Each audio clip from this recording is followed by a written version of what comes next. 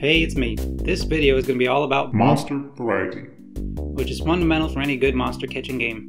In the last video, I had dragons, snakes, and lizards, but I obviously need more variety than just reptiles. I also made the dragon look way cooler. I'm going to look at real life for some monster inspiration. There are six major animal groups fish, birds, mammals, invertebrates, reptiles, and amphibians. Amphibians and reptiles are very similar from an animation perspective, so I'm going to mark both of those as done for now. Fish don't have legs, so they should be pretty easy to animate procedurally. I like easy, so I'll start with fish. I also made an in-game body editor for monster creation. It can change colors, body shape, limb size, and fine details like eyes and spikes. Usually when I make a new creature, I start with a pre-existing animal and change it into what I want. For the fish, it will be no different and I'll start with the older body of a snake. I'll make it taller until it's shaped like a fish. And I already made an eel almost by accident. I'll add a few more details and just complete the unplanned eel. Wow, that looks nice. Nice. Back to the fish. Let's add some fins, make the eyes bigger, the body shorter, and the eel is now a fish. That was surprisingly easy. I'm not sure how fish will work from a gameplay perspective. I don't really want them to just float on land, but if they don't float, they'll be unusable outside of water, which is going to be like 90% of the game. I'm undecided, but maybe I'll just give some fish limbs and have the legless fish be unusable by the player. Alright, let's move on to invertebrates. Most invertebrates are either bugs or marine animals.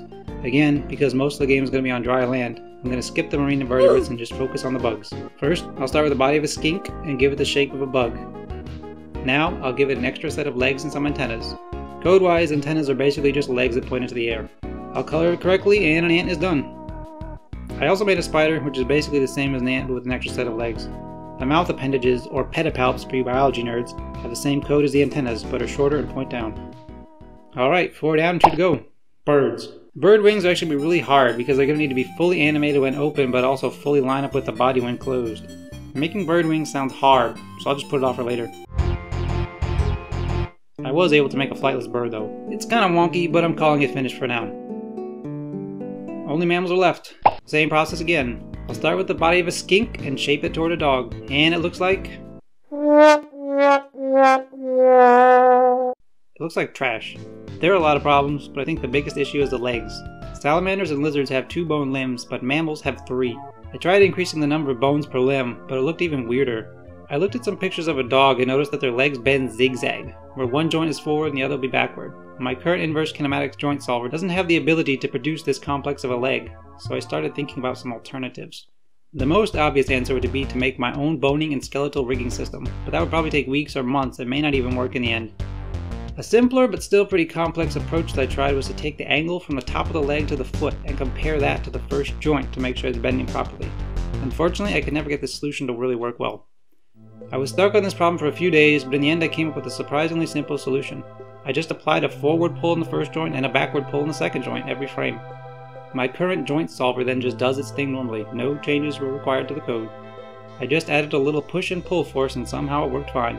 The legs look pretty good, and with a few more additions and tweaks, I had an okay looking dog.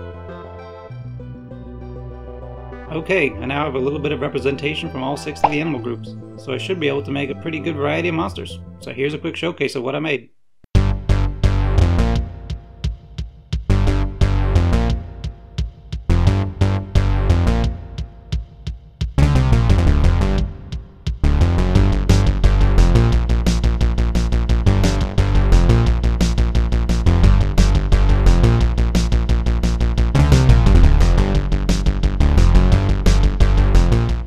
I really need some good names for these dudes, so if you have any suggestions, please leave a comment. I also plan on renaming the entire game. The old name, Beast Socket, is kind of hard to say clearly and I'm not happy with it anymore. If you have any suggestions, I'm all ears.